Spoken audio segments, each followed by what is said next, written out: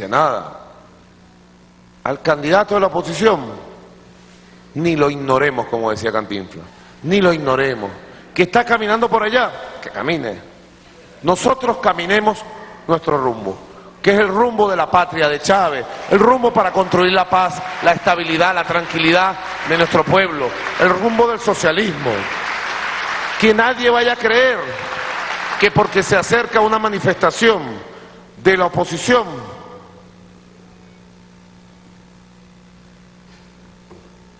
y le tira un tomatazo,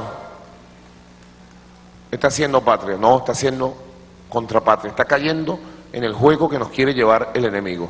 Porque nosotros, nosotros debemos organizarnos al máximo para que esto transcurra en paz, toda esta campaña.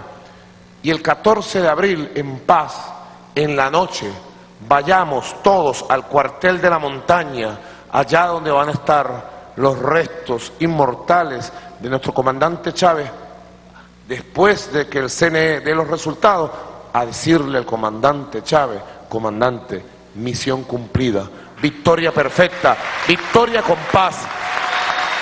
Eso va a ser así, así está decretada, la victoria en paz, la victoria perfecta, cuando el pueblo venezolano elija a Nicolás Maduro hijo de Chávez, obrero de la patria, presidente de la República Bolivariana de Venezuela, compatriota. Así va a ser, así lo sentimos y debemos garantizarlo. Perdonen que yo no me pare.